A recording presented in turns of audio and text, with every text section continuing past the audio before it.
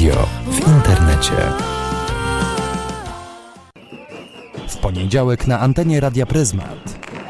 19. Poza rządem. Program o organizacjach pozarządowych. Słuchacie Radia Pryzmat przy Staromiejskim Centrum Kultury Młodzieży w Krakowie. Mówi do Was Agnieszka Tobijasiewicz, a mówi dzięki Kamilowi Wójcikowi, który jest dzisiejszym realizatorem naszym e, i który odtworzył pierwszy utwór. Jak wiecie, słuchamy muzyki na wolnych licencjach, e, głównie z portalu jamen.com.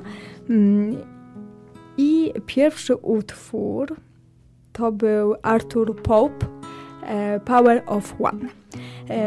Jak mogliście przeczytać na stronie Radia Pryzmat, naszym tematem i naszym dzisiejszym go gośćmi, naszymi dzisiejszymi gośćmi e, są reprezentantki salezjańskiego wolontariatu misyjnego Młodzi e, Świat. W studiu jest Katarzyna Goziej-Król i Kołodzie Justyna.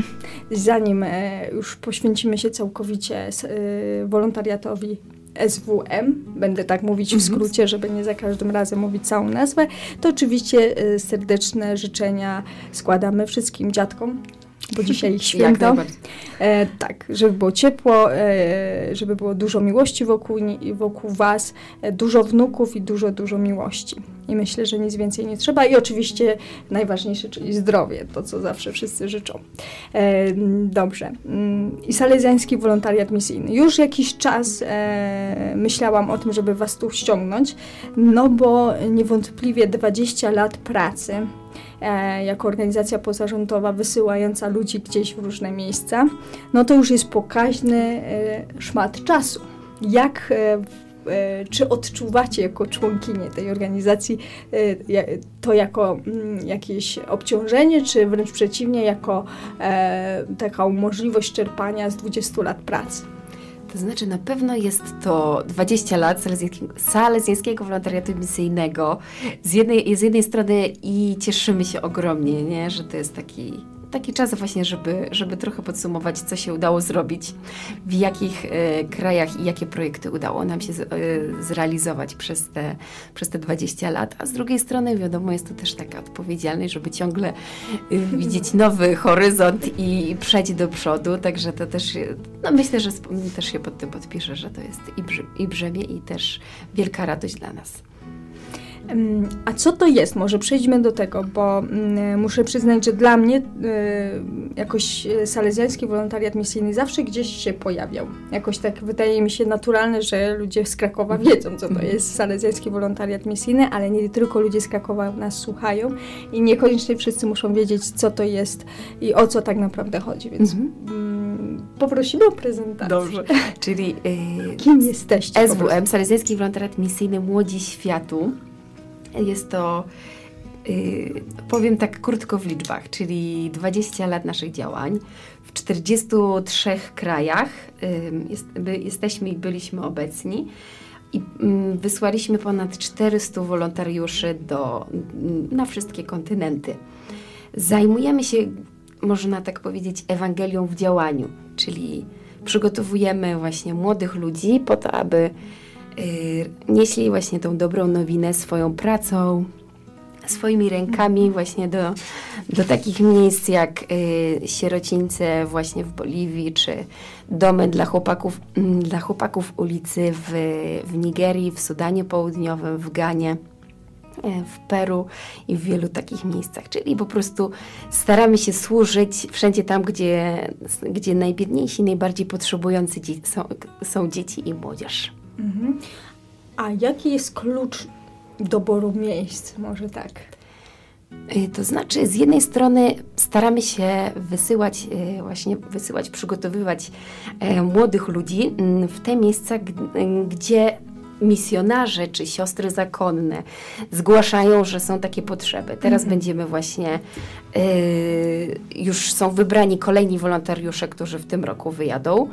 E, no i to będzie właśnie Boliwia, e, Uganda, Peru, no i także inne kraje.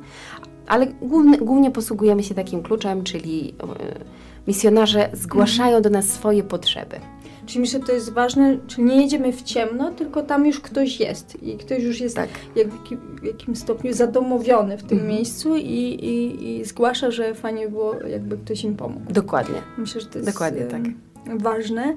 Mm, I, I głównie skupiacie się na pracy z, y, z dziećmi i młodzieżą, tak? Tak, głównie to jest. y, No, to jest to właśnie taka, taki nasz charyzmat. Dobra, to już myślę, że dużo wiemy.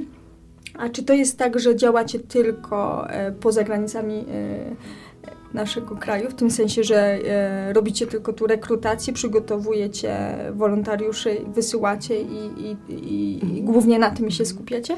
To znaczy na pewno część, mi, mówimy, że misja zaczyna się już w Polsce, tutaj w Krakowie, także w innych naszych oddziałach, czyli właśnie Świętochłowicach, Wrocławiu i Poznaniu. A także Kielcach, czyli już tutaj zaczynamy naszą misję. To jest ogrom działań. Myślę, że Justyna też y, doda coś od siebie, ale to są przede wszystkim, mamy taką, du, duży y, festiwal, festyn y, na Orawie. To już od wielu lat właśnie tam mm, zapraszamy miejscowych ludzi, y, pa, miejscowi księża, parafie, ale zwykli ludzie po prostu otwierają swoje serca i wspierają właśnie y, kraje afrykańskie i ludzi potrzebujących tam. To jest właśnie Orawa dla Afryki. E, ró- Również y, y, organizujemy niedziele misyjne, czyli pojawiamy się w różnych częściach Małopolski, nie tylko, y, gdzie właśnie mówimy, nasi wolontariusze dzielą się swoim świadectwem, jak to właśnie było na misjach, co, czego doświadczyli, y, kogo spotkali. To właśnie są niedziele misyjne, gdzie, gdzie również właśnie za, mówimy po prostu ludziom, jak, jak było y, w tych miejscach, y, do których dotarliśmy. Z takich jeszcze ważnych działań to na przykład jest taka nowa akcja Ślub z misją, czyli zapraszamy osoby, które, które chciałyby się podzielić swoim szczęściem w, y, w dniu ślubu, żeby przekazywały zamiast kwiatów drobne datki. W zamian dostają od nas właśnie taką super informację zwrotną y, od, od misjonarzy, dla których chcą przekazać ten, te datki w dniu swojego ślubu. Z, jeszcze z takich ważnych dzień może Justyna chciałaby coś dodać. Jeszcze przede wszystkim na miejscu, tam na ulicy Nynieckiej mamy cały park y, globalnej edukacji Wioski Świata. I tam y, w sezonie, czyli tak y, na przełomie wiosny, lata, y, prowadzimy y, takie warsztaty dla dzieciaków i są tam takie prawdziwe y, na przykład chatki afrykańskie. Jest też tipi z Indii, są też taka chatka peruwiańska, typowa, zrobiona właśnie z tych materiałów, co, co tam na miejscu mają. I tam prowadzimy taką edukację dla dzieci opowiadamy im o misjach i, i jaka ważna rola jest właśnie w tym, żeby, żeby wspierać te misje. I, I że też człowiek y, na drugim końcu świata też jest ważny i że w ten sposób możemy mu pomóc tutaj też. Tak sobie pomyślałam, jak e, opowiadałyście, bo mm, poza rządem, no to jest taka audycja, w której najczęściej są po prostu, znaczy, w której rozmawiam z ludźmi z sektora trzeciego, czyli z organizacjami pozarządowymi, e, najogólniej rzecz ujmując. I raczej rzadko pojawia się sformułowanie misyjne. Więc może wyjaśnijmy e, też, o, dlaczego to są misje. O, może tak. Tak, to jest, wiem, trudne pytanie, bo mm, chodzi mi o to, że e, w nazwie jest wolontariat misyjny e, i, i myślę, że dla niektórych misja i wolontariat to byłoby blisko, Mhm, mhm. bardzo blisko siebie i, i o to mi chodzi, żeby jaka jest różnica po prostu między wolontariatem, a tym, że jest to misyjny wolontariat. To znaczy na pewno y, taką dużą różnicą, nie, która, która myślę sobie odróżnia nas od wolontariatów niemisyjnych jest to, że każdego wolontariusza, który, osoby, która chciałaby właśnie wyjechać na wolontariat misyjny, przygot, przygotowuje się y, w takiej formacji, czyli przez, przez rok. Prawda? Musi uczestniczyć w spotkaniach i tak dalej.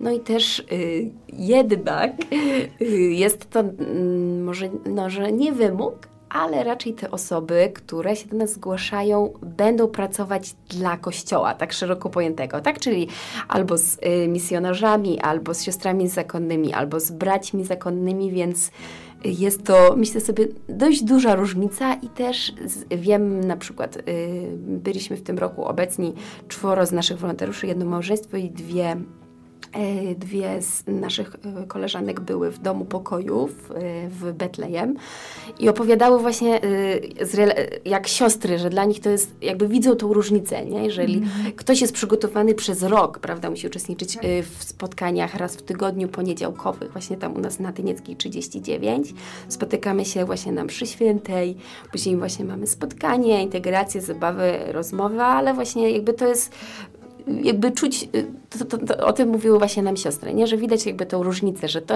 jest, no, wolontariat z misją to jest to coś więcej, prawda? O tym, e, co to znaczy coś więcej i, i jak, ta, mm, jak to przygotowanie wygląda mm, dokładniej, porozmawiamy po utworze Jonathana Dimela You've Got It.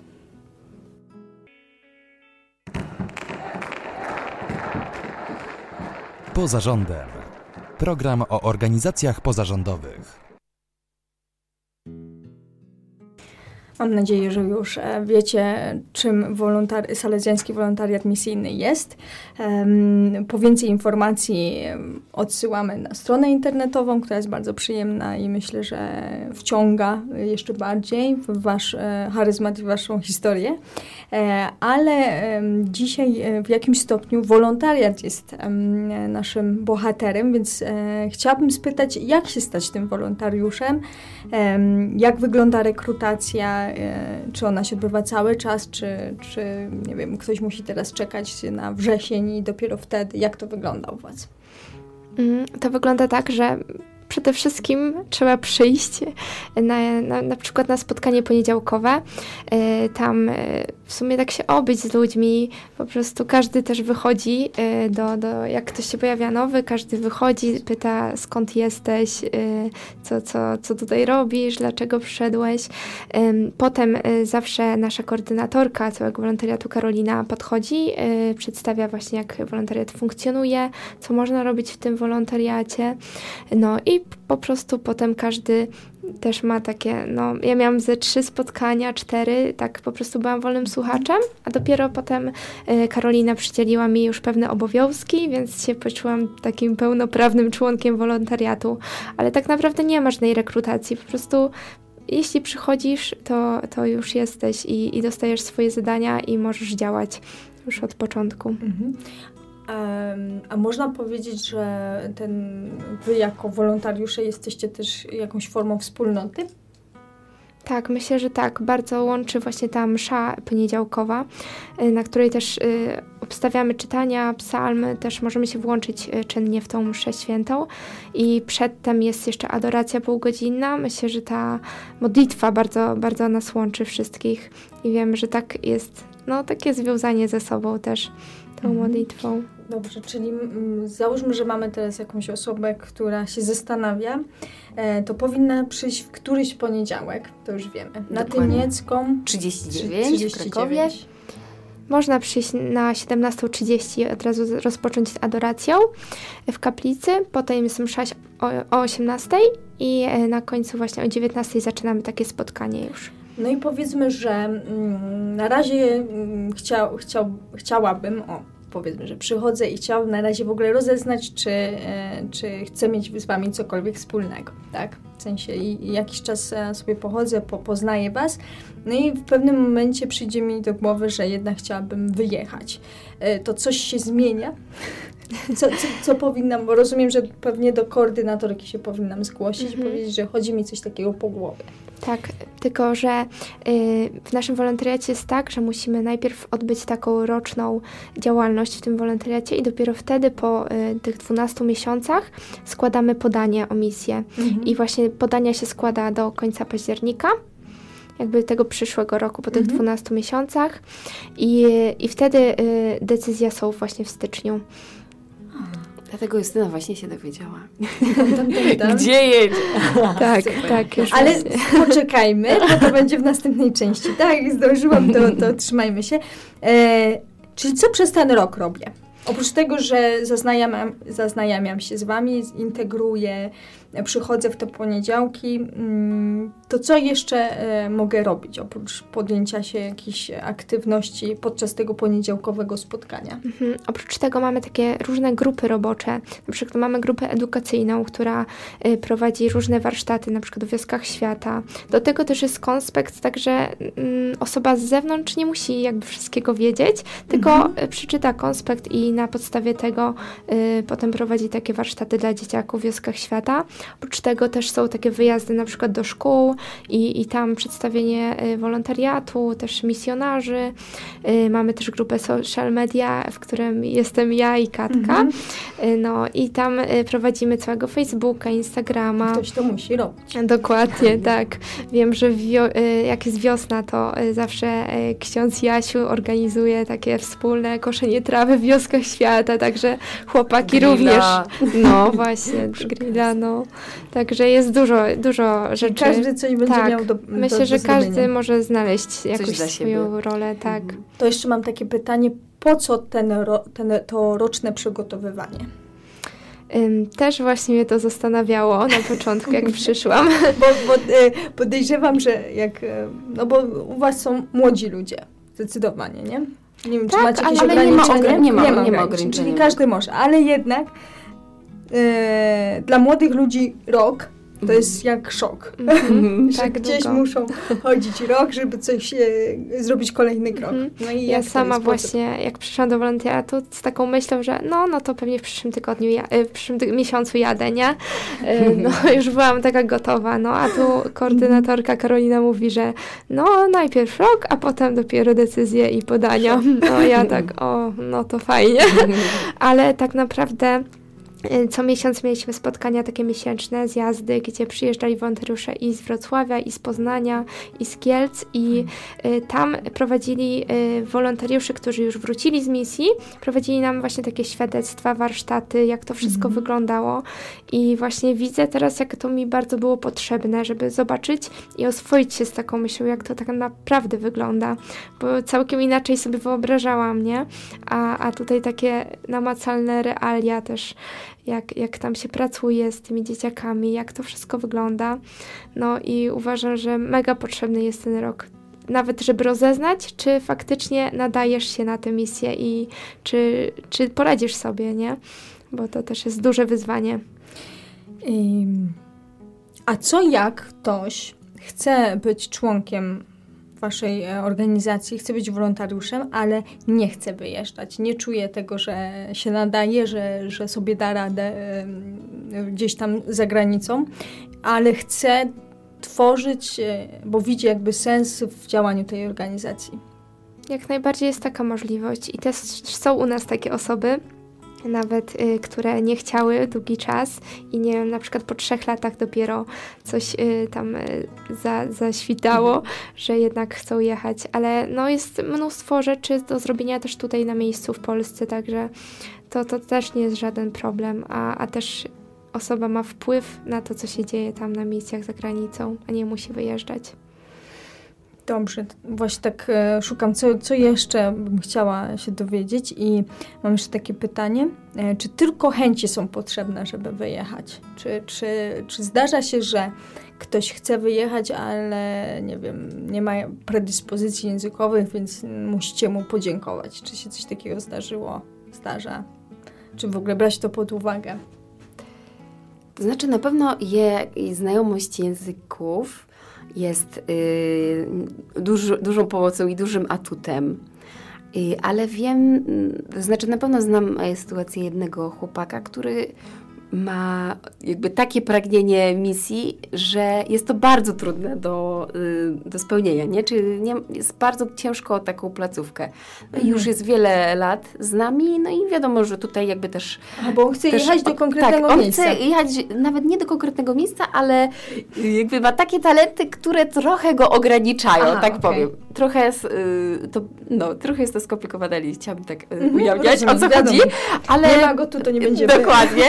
No i właśnie jest y, przez, przez wiele lat, mm, no i do tej pory jeszcze nie, nie udało się znaleźć takiej placówki, nie? No i też choć wiem mm, też o jednym, właśnie teraz mamy takiego pana w, y, w takim dojrzałym wieku, I, i, no i właśnie ze względów językowych też ni, niestety nie będzie mógł uczestniczyć y, w misjach, tylko myślę, że to nie jest taki jedyny warunek, nie? że jeżeli ktoś nie zna języka angielskiego, to nie może pojechać, nie? No bo y, właśnie Justy, Justyna będzie jechała do Boliwii i nie zna hiszpańskiego, ale jeszcze ma, na tyle wcześniej się dowiedziała, że jeszcze ma czas jak najbardziej, żeby się też przygotować, nie? Właśnie i nauczyć się języka Okej. także. Y, To tak, to o czym pomyśleć, jak, jak, e, jak na przykład siedzę sobie teraz w domu i w sumie mi się spodobało, ale mam takie obawy, że, że to nie jest dla mnie. To jakie byście dały ze swojej perspektywy rady, o czym pomyśleć? Czy nie wiem, przede wszystkim trzeba lubić dzieci na przykład? To też nie jest warunek, bo jakby w charyzmacie wolontariatu misyjnego y, salezjańskiego jest właśnie pomoc y, i skupienie się na młodych ludziach, ale y, ja na przykład jadę jako fizjoterapeuta, bo studiuję fizjoterapię i jadę właśnie do, do szpitala jako fizjoterapeuta. Wiem, że są też projekty w ogóle, ym, gdzie architekci jadą budować na przykład szkołę w Afryce i, i w ten sposób się spełniają, także nie jest to konieczność, że trzeba lubić dzieci, bo też y, mamy dużo takich opcji, gdzie, gdzie to nie jest Mhm. potrzebne. Mhm. Także Ale no, myślę, że, że, że na przykład mój mąż y, nie za bardzo chciał jechać i uczyć y, dzieci czy młodzież, ale po- pojawił się właśnie taki projekt budowy studia medialnego w, właśnie w Ganie w Afryce, no i, no i jakby też, y, też, odnalazł, też tutaj tak? się odnalazł. Także no, myślę, że mamy taki ogromny wachlarz y, właśnie tych miejsc i projektów, że każdy może znaleźć coś takiego, co, co mu odpowiada. Mhm, też właśnie myślę, że po prostu trzeba przyjść i, i spróbować, też coś zaproponować jakby od siebie i, i zapytać, nie? Bo wolontariat jest bardzo otwarty na wszelkie jakieś e, propozycje współpracy i jak, nawet ludzie przychodzą i mają już swój jakiś projekt, jakiś pomysł na tę misję, a my to po prostu realizujemy w tym wolontariacie. I jest dużo pomocy też takich kwestii ogarnięcia dokumentów, jakichś tych wiz wszystkich, także wystarczy przyjść i spróbować. Mhm. To jeszcze już ostatnie pytanie w tym bloku, czyli e, o te projekty. Czyli rozeznałam, że chcę jechać, zgłosiłam się, minął rok, mm, powiedzmy, i składam ten dokument, e, no, Podanie. to, że podanie, że chcę, chcę jechać na misję i co, i, i, i w tym podaniu już muszę dookreślić, gdzie i co chcę tam robić, czy, e, czy to jest tak, że mm, no, koordynatorzy decydują, gdzie są potrzeby, jakie, kto ma jakie talenty i gdzie się odnajdzie, jak to, jak to wygląda. Mhm. W podaniu y, właśnie też mnie to zdziwiło, ale nie ma pytania, gdzie chcesz jechać. Naprawdę. I, i to był dla mnie szok, ale nie ma tego pytania. Y, Jest tam pytanie przede wszystkim, jak się czujesz w wolontariacie, co mógłbyś właśnie, jak się widzisz w pracy y, tam y, za granicą, na misjach, y, co byś mógł robić, jak w ogóle twoja rodzina reaguje na to, że, że te, ty chcesz jechać.